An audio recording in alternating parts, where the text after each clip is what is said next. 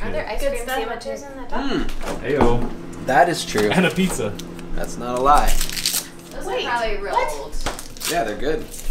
Oh, well, that is- They're probably from like summer. Summer Blast.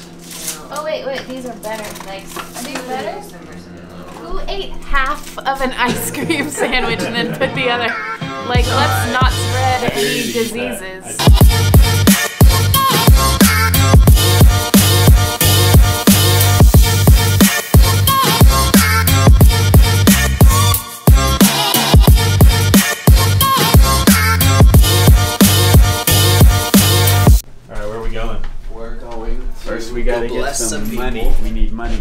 No, we're Just gonna get. and his oranges. Ty just keeps oranges around his vehicle. Uh, to prevent scurvy, right? Any slower? You think you could go any slower? Look at that. Look at that good looking guy. We are headed to bless some people for Make a Difference Monday. Make a difference Monday. About Let's to give go. some gift cards. Boom, chicka boom. Also, boom. Ah. Ty and I need to go get our personal donations. Yeah. Because Dream Center, according to Pastor Jonathan's live this morning, is running low.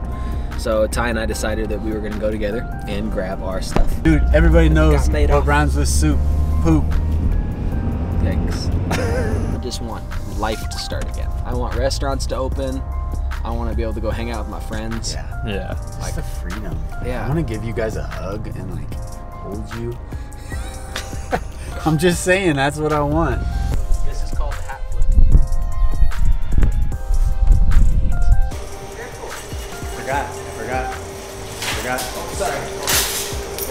Thing's cleaned up. It's dangerous out here. It's doing their part. There we go. He looks like he's working really hard.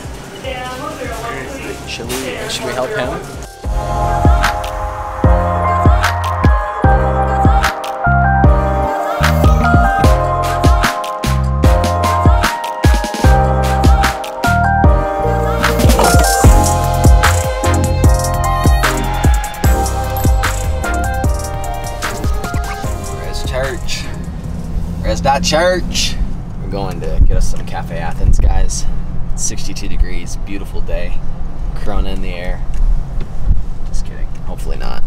Week three. Week three. How are you feeling? I feel good. I feel kind of tired of screens and technology a little bit. I miss face-to-face interaction with people. Um, I miss hanging out with friends and going to coffee shops and hanging out as a group. I think it's been trying to navigate, you know, how to maintain good relationships just with over the phone or over Zoom.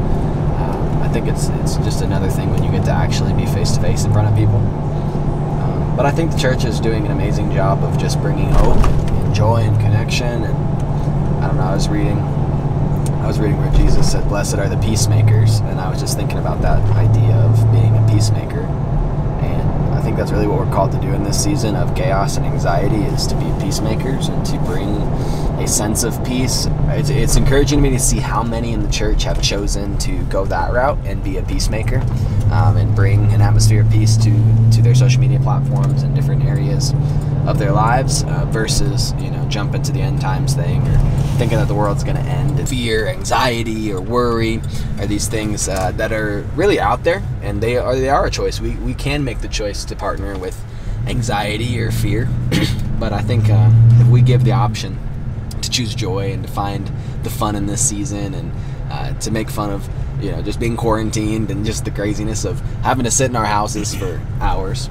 I feel like it's kind of cool to watch some of the world show their true colors in good, positive ways. You know, like people that are out there that are just doing their best to love each other and and take care of their neighbors and you see the church come alive and you do hear stories of some churches that aren't taking this seriously and it's a bummer to see some of that um, which by the way we at Rez are doing our absolute best to make sure that everybody is safe it's kind of cool to just see how the church has not um, in any way slowed down because of this thing in fact a lot of churches are gaining momentum i mean some of our messages have gained like Thousands. tens of thousands of views like Yeah. in 24 hours and it's kind of like whoa, we don't have that many people at our church. So that's kind of cool to witness and unfold. It's sad to watch some people go through hard things, Yeah. but um, you know, it's one of those things where this is a good test for you know our faith and can we really truly look in the face of hardship and Yeah. you know say God you're good, God you're faithful, Yeah. even when it looks like things are collapsing around us. I've been studying a lot about wilderness seasons Mm. and just kind of looking into different times in the Bible that people, different biblical characters and figures went through wilderness seasons, um, and they they all kind of had a similar cry of, "God, where are you?" or Mhm. or "Why do I feel abandoned?" David had a season like that. Even Jesus on the cross said, "God, why have you forsaken me?" Right. Um, and we look at Job and we look at all these different characters in the Bible. Uh, John the Baptist, uh, you know, Jesus, as soon as he had this moment where his father says, You're my son in whom I'm well pleased, and then immediately it says the Holy Spirit drove him into the wilderness. And so it's it's interesting to look at all these different characters, the Israelites going through the wilderness um, after they're delivered from Egypt. And, and so I've just been studying all these different people in their wilderness seasons. And you know a lot of times we think that the wilderness is something that that we got ourselves into. Like oh god's punishing america for whatever. And so he sent this coronavirus and we're in this wilderness. And it's like i don't think that's really how this is working. Right. most of the time uh, when you look in the scriptures the wilderness is a place of preparation. It's a place of teaching. It's a place of growing and character building.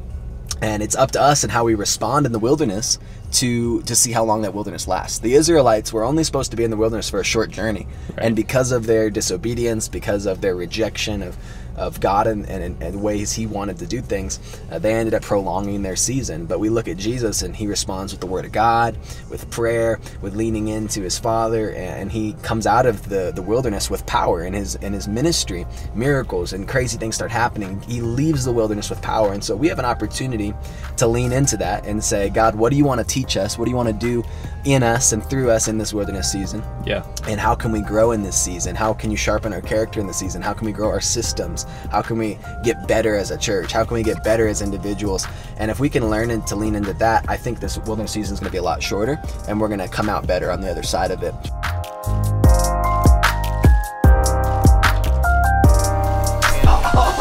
Are you guys about to go film something? Maybe. You cool So- cats. sanchez really wants to be on film so i think we should make him do the wheel of death the wheel of misfortune But what if we only No. show from like his knees down? you want to be in the wheel of misfortune What is that? just say yes Oh. Wait, what did we cancel? apparently some kids watched our Make a Difference Monday video and they just brought money to the Dream Center to bless some people. Let's go. three and a half year old and a five and a half year old just brought by um, some letters and there, some change and some dollars and you have to zoom in on this this letters these letters. Um, we'll go ahead and read it to you. Dear Rez church i'm giving my money because some don't have any. I love you wesley three and a half wesley gave three dollars his sister writes dear Rez church i'm so grateful to give money to you so you can give to people who need it i got this idea from addie the hero pastor jonathan shared about she inspired me to give my money. My heart is so joyful today. I want to shout, Praise God. Thanks to all of you for giving the Chick fil A meals to the hospital workers. Love Janie, five and a half. Happy Easter and Palm Sunday. Palm Sunday. That's amazing. It'd be funny if you guys did do like get pants, but you had a second pair of pants underneath. You know, I've always That'd wanted be those hilarious. like tearaway pants. Oh my gosh.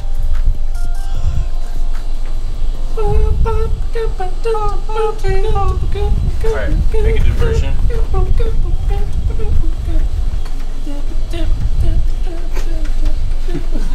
Austin, this is your first time on the vlog. How does it make you feel? Uh, Famous. Yeah, famous. Landon, Landon took the words from my mouth. Famous as the footwear? A million subscribers. Yes, just like the Here footwear. Okay. I love it. I feel like a cheap shoe. I I always feel like a cheap shoe.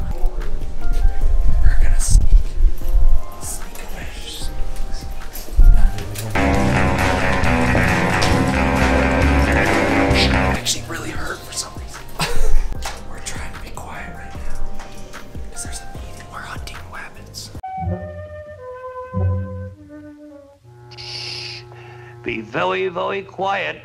I'm hunting rabbits.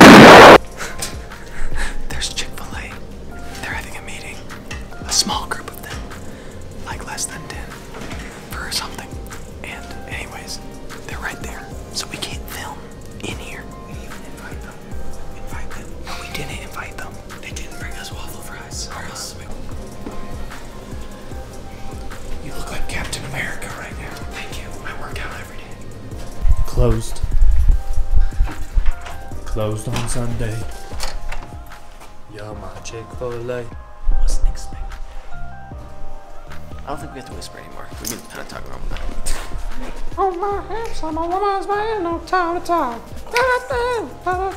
Demonetized.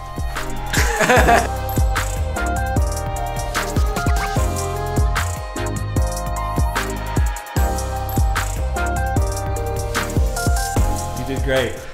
How do you feel? Do you feel fit and healthy? I should have eaten breakfast. You should have not done this challenge. Honestly. Andrea, what are you eating? Uh, tomato soup. Is it good? Yeah. Do you want some? Mm. Okay, bye. What's up? Tell us about those amazing glasses that you have. Well, What do they do for you? they uh, they make me feel a sense of confidence because of my great looks that they enhance for me. They do. Yeah. Do they also help you see? No. They just make me look good. I bless those. Bless Sether with these flowers. Wow. Smell them. Oh wait. Wow. Fresh. Just you know, have like a call. Good. Whoa. Whoa. Careful of the camera. Uh, something's wrong with your car. Yeah, I gotta make sure it's, it's good to go. Is it okay? sporty you are. Should we ride the sports car? Let's drive the sporty car. Alright. See ya. Bye, buddy. Hope you find your dad. Uh, we are going to Inajuice because I need something that's less filling. We believe in Beebs. I believe in the beeps. We believe in the Beebs. Believe in the Beebs. The Beebs will get us through the season. Yep. So will. All Unless he, gets, unless he gets that Rona. Unless Justin, if you're watching, which you most likely are, don't get that Rona. We can't handle that. I can't handle it. Can't handle the Rona! How should extroverts navigate the season of the Rona? Call your extrovert friends. Check on them. Get on a Zoom call. Get on. Meet at Target. Hang out at Lowe's or Home Depot. Um, go to the mountains together. Invite them to go fishing. Uh, take them to a local grocery store. Just invite them to be a part of your life because they are very bored at home and they're missing human connection. Are you an introvert? I'm like, I have introvert tendencies, but I'm more extroverted. So like, there's times I need my alone time, but right now I'm really struggling because I need people. I went into work just to wash my car so, I could see kind of like people. Elf. Papa, I just need some alone time. Buddy, are you okay? I'm sorry, Papa. Just need some alone time. It's your hot wife texting you. Oh. My hot wife texted me. It's your first Guys, wife. I have a hot wife. It's your first wife. Me too. Hi, hot wife five. You got a friend in me.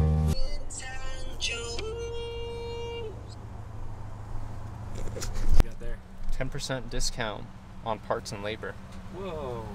Or you can do free pit stop, Whoa. free tire rotation. Whoa. All right, who's your favorite Office character? Uh, easy. Michael Scott. Michael Scott. That's a good one. Michael Um, Scott.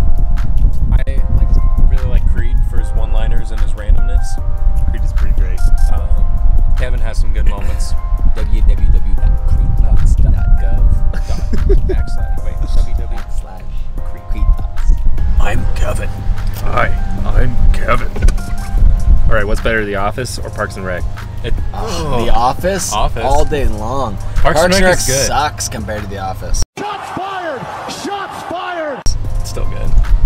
You heard me. Brook, well, okay okay. The Office is the best of all time. Yeah. It's proven. They're all good though.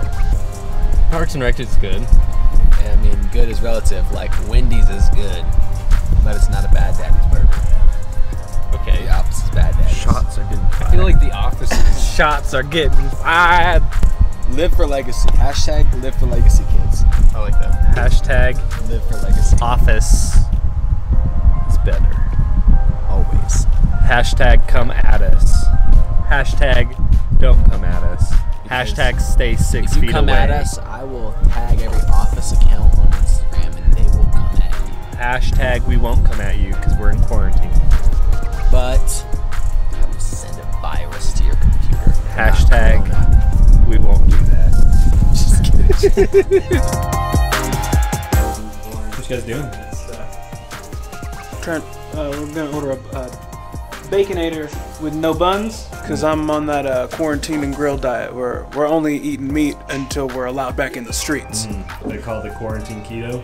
yeah, keto, corn, corn keto. Quarantine. There's so much pressure with the camera on that I don't have a good name for this. Just trying to get lean, mean, and quarantine, you know? Got there. Snooze, rise. Taco Bell. Taco Bell. Oh my gosh. Taco Bell. Dreaming big.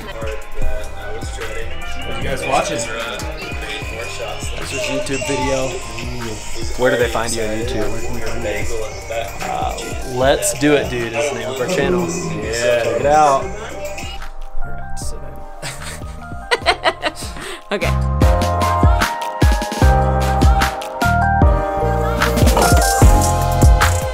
Hey, all you cool cats and kittens. Hope you enjoyed this week's vlog. If you need anything, feel free to reach out to us. Otherwise, we'll see you next Friday.